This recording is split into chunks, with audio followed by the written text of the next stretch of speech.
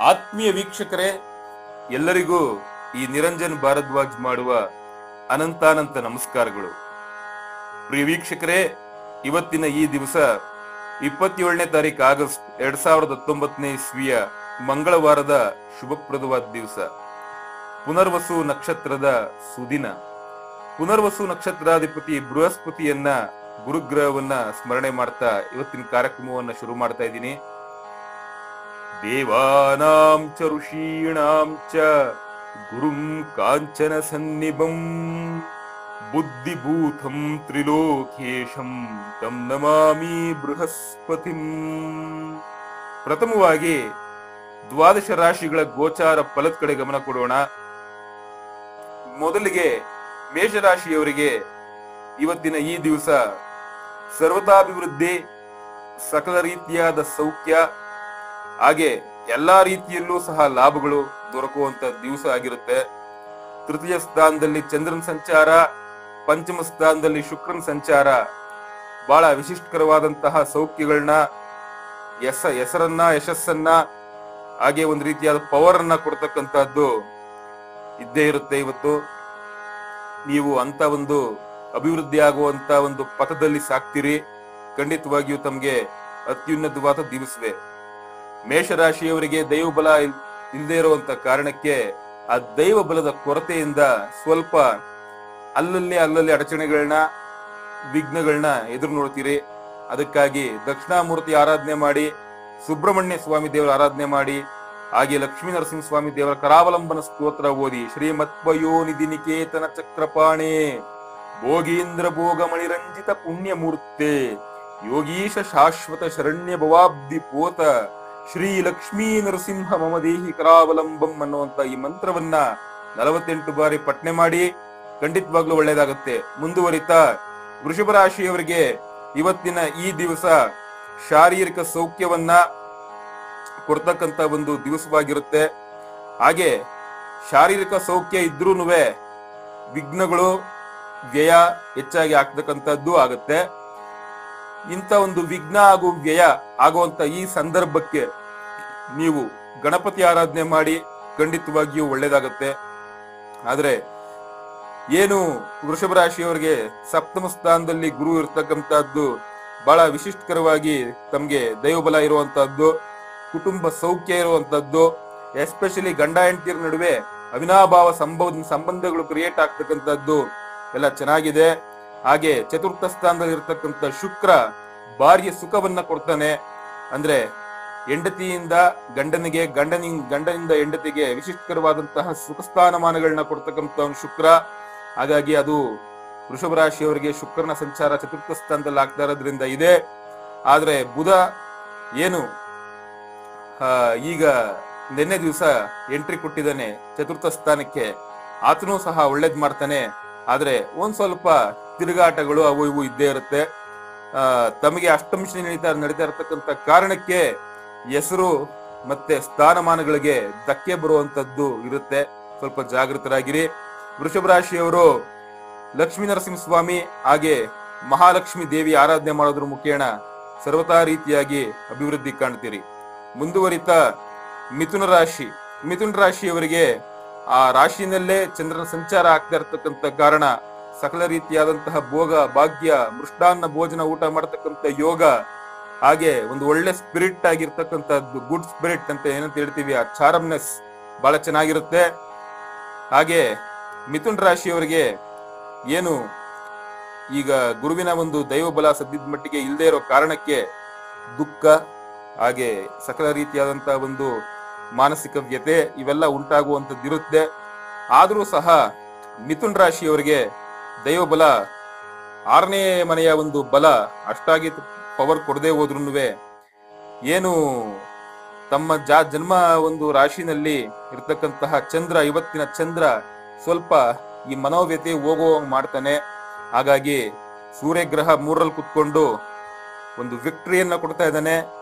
ಹಾಗೆ ಶನಿಗ್ರಹದ ಒಂದು ಕಲಹ ಕಲಹದ ನೇಚರ್ ಎಸ್ಪೆಷಲಿ ನಿಮ್ ನಿಮ್ಮ ಹೆಂಡತಿಯರ ಹತ್ರ ಕಲಹ ಮಾಡ್ತಕ್ಕಂಥದ್ದು, ಹೆಣ್ಮಕ್ಳಾದ್ರೆ ಗಂಡಂದ್ರ ಹತ್ರ, ಇದೆಲ್ಲ ಸ್ವಲ್ಪ ಹುಷಾರಾಗಿರ್ಬೇಕು. ಹಾಗೆ ನಿಮ್ಮ ಒಂದು ಸ್ಥಾನಮಾನಗಳಿಗೂ ಸಹ ಆಥರಿ ಆಥರಿಟಿಗೂ ಸಹ ಧಕ್ಕೆ ಬರುವಂತದ್ದಾಗತ್ತೆ ಈ ಆಥರೈಸೇಷನ್ ಬಗ್ಗೆ ಸ್ವಲ್ಪ ತಲೆ ಕೆಡಿಸ್ಕೊಂಡು ಮುನ್, ಮುನ್ನೆಚ್ಚರಿಕೆ ಕ್ರಮವಾಗಿ ಜಾಗ್ರತೆ ವಹಿಸಿಕೊಂಡು ಹೋಗಿ ಖಂಡಿತವಾಗ್ಲೂ ಒಳ್ಳೇದಾಗುತ್ತೆ.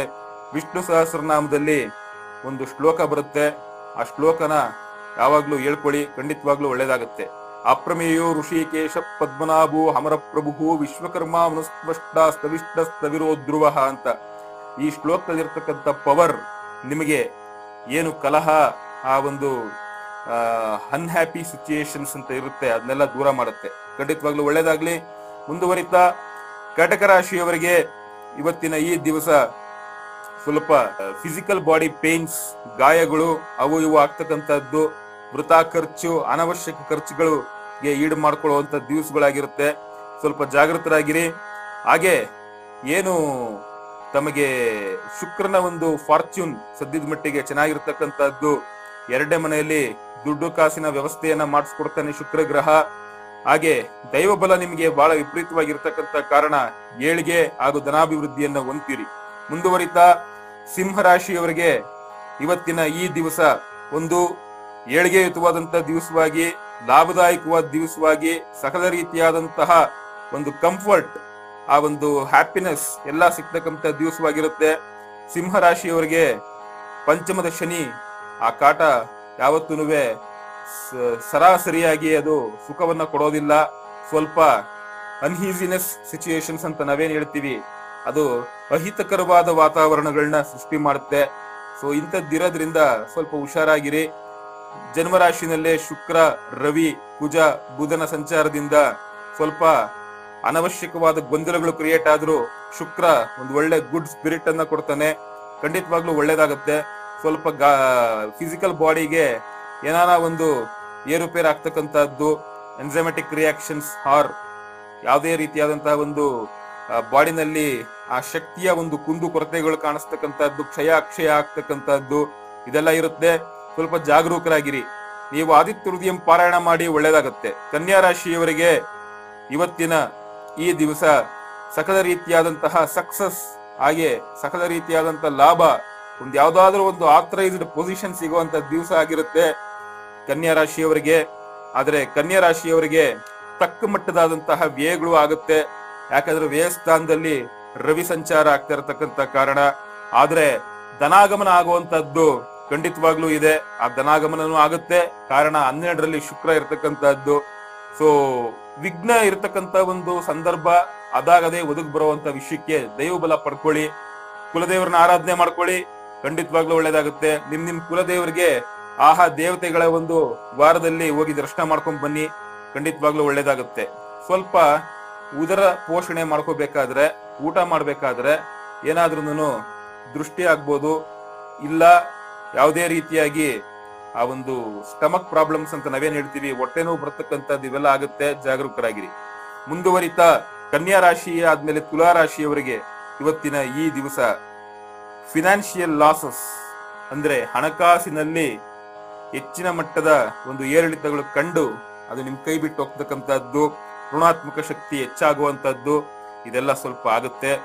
ಸೊ ತುಲಾ ರಾಶಿಯವರು ಇವತ್ತಿನ ಈ ದಿವಸದಲ್ಲಿ ಇಂಥದ್ನೆಲ್ಲ ನೋಡ್ತಾ ನೋಡ್ತಾ ಮೆಂಟಲಿ ಸ್ವಲ್ಪ ನೀವು ಕಂಫರ್ಟ್ ಆಗಿರೋದಿಲ್ಲ ಅಂತ ಒಂದು ಕಂಫರ್ಟ್ ಬರೋದಿಕ್ಕೆ ನೀವು ಶುಕ್ರ, ಶುಕ್ರನ ಅಧಿದೇವತೆಯಾದ ಮಹಾಲಕ್ಷ್ಮಿ ದೇವಿಯ ಒಂದು ಆರಾಧನೆ ಮಾಡಿ ಖಂಡಿತವಾಗಿಯೂ ಒಳ್ಳೇದಾಗುತ್ತೆ. ಮುಂದುವರಿತಾ ವೃಶ್ಚಿಕ ರಾಶಿಯವರಿಗೆ ಇವತ್ತಿನ ಈ ದಿವಸ ಚಂದ್ರಾಷ್ಟಮ ದೋಷದ ಪ್ರಯುಕ್ತ ಸಕಲ ರೀತಿಯಾದ ಟೆನ್ಷನ್ಸ್ಗಳಾಗುವಂತ ದಿವಸ ವಿಪರೀತ ಮನಸ್ತಾಪಗಳು ಮನೋವ್ಯತೆ ಅನುಭವಿಸುವಂತ ದಿವಸ. ಹಾಗಾಗಿ ಅದರಿಂದಾಗಿ ಮಾನಸಿಕ ಸ್ಥಿಮಿತ ಕಳ್ಕೊತೀರಿ. ಮನಸ್ಸಿಗೆ ಅಹಿತಕರವಾದಂತ ಘಟನೆಗಳು ನಡೆಯುತ್ತೆ. ಬಹಳ ದುಃಖ ತಪ್ತವಾದ ವಾತಾವರಣದಲ್ಲಿ ಇರುವಾಗೆಲ್ಲ ಆಗುತ್ತೆ. ಮನಸ್ಸು ವಿಪರೀತ ಚಂಚಲಕ್ಕೊಳಗಾಗುತ್ತೆ. ಹಾಗಾಗಿ ಚಾಮುಂಡೇಶ್ವರಿ ಆರಾಧನೆ ಮಾಡಿ ಖಂಡಿತವಾಗಿಯೂ ಒಳ್ಳೇದಾಗತ್ತೆ. ದೈವಬಲ, ಪುಣ್ಯಕ್ಕೆ ನಿಮಗೆ ನಿಮ್ಮ ಒಂದು ರಾಶಿನಲ್ಲಿ ಹೋಗ್ತಾ ಇರತಕ್ಕಂತಹದ್ದು ನಿಮ್ಮ ಮಾನಸಿಕವಾದಂತಹ ಒಂದು ಏನೇನು ದುಗುಡ ದುಮ್ಮಾನಗಳಿರುತ್ತೆ, ಅದನ್ನೆಲ್ಲ ದೂರ ಮಾಡ್ಲಿಕ್ಕೂ ನೋಡುತ್ತೆ, ಆದರೆ ಮನೋವ್ಯಾಕುಲತೆ ಇದ್ದೇ ಇರುತ್ತೆ ಅದೇನು ಮಾಡ್ಲಿಕ್ಕಾಗಲ್ಲ. ಹಾಗಾಗಿ ದಕ್ಷಿಣಾಮೂರ್ತಿ ಆರಾಧನೆ ಮಾಡೋದ್ರ ಮುಖೇಣವೂ ಅಷ್ಟೇ. ಖಂಡಿತ ನಿಮಗೆ ದೈವಾನುಗ್ರಹ ಉಂಟಾಗುತ್ತೆ.